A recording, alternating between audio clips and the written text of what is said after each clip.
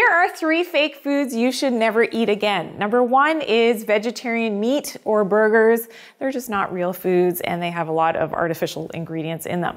Number two is protein bars. So unless you're making them yourself, protein bars can have a lot of sugar or artificial sweeteners in them. And often the protein source is a soy protein or a pea protein. Not my favorite and not always well digested. And number three is honey. So you should always know where your honey is coming from and where the bees are coming from. They did a study on 100 different commercially bought honeys and they found that 27% of them had other ingredients to dilute that honey. So they had sweeteners like corn syrup and cane sugar diluting the actual honey. So you got to be aware of these things. Follow for more natural health tips.